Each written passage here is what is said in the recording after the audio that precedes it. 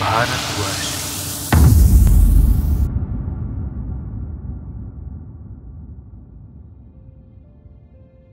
गुरुदेव सफलता प्रत्येक मनुष्य के जीवन का लक्ष्य होती है। परंतु गुरुदेव सफलता होती क्या है? कोई व्यक्ति समाज का कितना भला कर सकता है यही क्षमता उसकी सफलता है।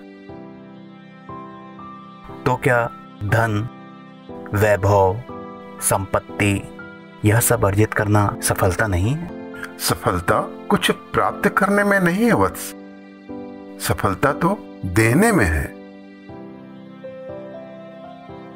सफल वही होता है जो सदैव समाज को देने की सोचता है।